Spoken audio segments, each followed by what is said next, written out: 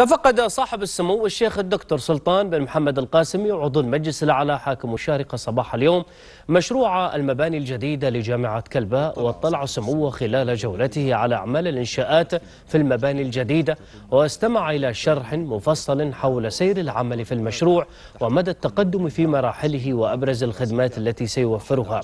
ووجه سموه بتسريع العمل في إنجاز المشروع حيث ستفتتح جامعة كلباء في بداية الموسم الأكاديمي القادم.